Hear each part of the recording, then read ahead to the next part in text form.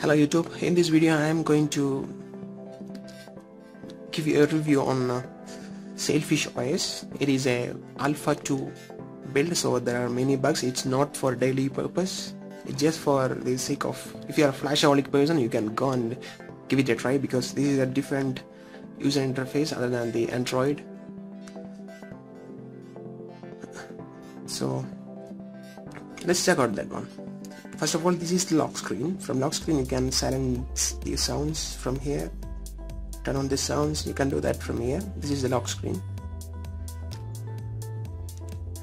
If I pull up, I'll go to the home screen. So this is the home screen. Then if I pull down again, I'll get the launcher with all the applications installed. So this is the three screen, three main screen here. And from this is the call button now there is no number. I can dial the number here. And then I can simply call.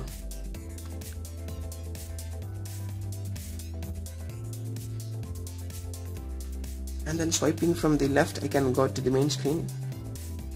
I can do the same with swiping left also. And this is a messaging application. There is no message so I can write new message using new message. I can enter the recipient and I can enter the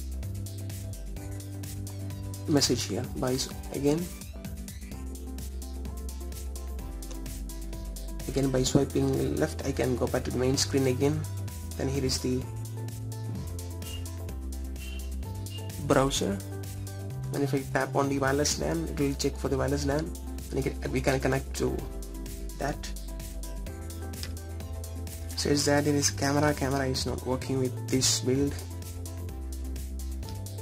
so this is about the home screen and then if I pull down again I can see all the installed application here. So this is the launcher screen. People store gallery you can see the gallery application here. Ambience typing tapping that one will open like that. And then if I click on that one I'll get the extra settings from here. So right pulling down I can get these options. Pulling left I can go back to the screen. Swipe from here I can enter the home screen. So that's about the gallery application. And here is the settings option. You can see all the settings here like system settings. You can see all the system settings. Display shortcuts sounds and feedback. Wireless LAN internet sharing is there. So mobile network bluetooth usb location bluetooth sync backup device lock pin code and trusted software development tool language text input Sailfish updates about product battery transfer data counter reset device everything is there. That's about the settings menu. Then terminal I can turn on the terminal for the ter terminal purpose.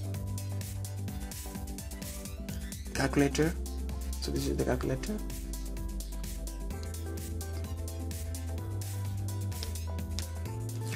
then uh, calculator sorry calendar. I can manage the month by swiping like and then I can pull down I can get all these options. That's calculator then clock authentic VCA dates. I can open the stopwatch from here. And then I can also open the new timer new set the timer new alarm clock I can add. So that's about the alarm and then email application. No account so I need to add account.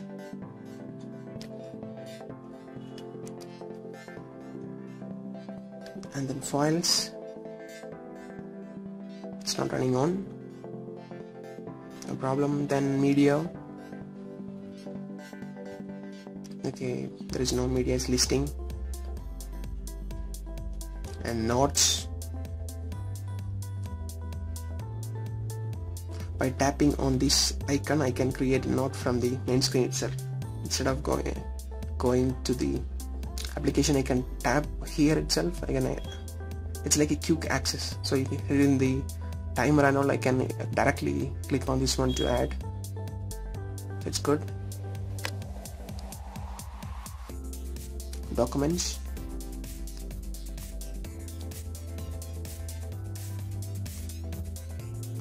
have the tutorials and here is the component components.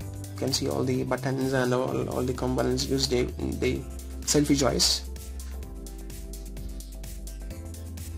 with another dive in so this is all about the Sailfish OS if I tap and press on that one I can close each and every individual applications that I recently opened. If I pull down I can close all from here.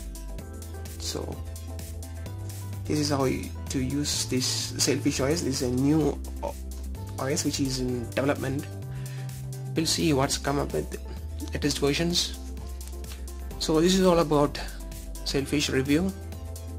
If you want to know how to install the Sailfish on your OnePlus One there is a link in the description to show you that. Just go and check it out. Thanks for watching. Please subscribe for more